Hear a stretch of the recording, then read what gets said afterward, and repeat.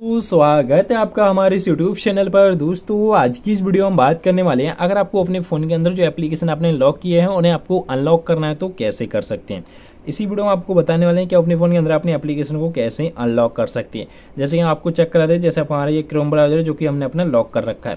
तो अगर आपको इसे अनलॉक करना है तो कैसे करेंगे? इसी वीडियो में आपको बताएँगे तो अपनी अनलॉक करने के लिए आपको सेटिंग में जाना है सबसे पहले।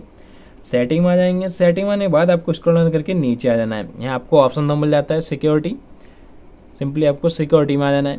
सिक्योरिटी में जाने के बाद यहाँ से आपको और नीचे आ जाना है। आपको ऑप्शन मिल जाता है प्राइवेसी एंड ऐप इनक्रप्शन इसे आप ओपन कर लेंगे। यहाँ से अपने यूज़ पासवर्ड से हम ओपन कर देते हैं। जो भी पासवर्ड आपने सेट किया, उसे एंटर कर देंगे। ऐप इनक्रिप्शन पे जाएँगे। तो यहाँ से आप, जैसे आप ऐप इनक्रिप्शन पे जाएँगे तो यहाँ से आपके एप्लीकेशन भी ओपन हो जाते हैं। जो भी आपको आपने अनलॉक किए थे, सारे आपको यहाँ मिल जाते हैं। अनलॉक करने के लिए आप इसे ऑफ़ कर देंगे और नीचे आ जाएँगे। क्रोम ब्राउज़र हमें इसे ऑफ़ कर देती है। फेसबुक है, वो भी हमने ऑफ़ कर दिया है। तो इस प्रकार से जो एप्लीकेशन आपने लॉक किए थे, वो सारे हो चुके हैं अनलॉक और यहाँ से हम आपको चेक करा देते हैं, जैसे आप देख सकते हैं। क्रोम ब्राउज़र हमारा लॉक था, यहाँ से आप देख सकते हैं क्रोम ब्राउज़र हमारा डायरेक्ट ओपन हो रहा है। तो इस प्रकार से अपने फ़ोन के अंदर अपने एप्लीकेशन को अनलॉक कर सकते हैं। जो भी एप्लीकेशन अपने लॉक किए थे, उन्हें अनलॉक कर सकते हैं। तो आई होप आपको वीडियो पसंद आई। वीडियो पसंद आई हो तो लाइक करें शेयर करें। और चैनल पर पहली बार आए तो चैनल को सब्सक्राइब करके बेल प्रेस करना भूलें, ताकि आपको वीडियो नोटिफिकेशन मिल सके सबसे पहले।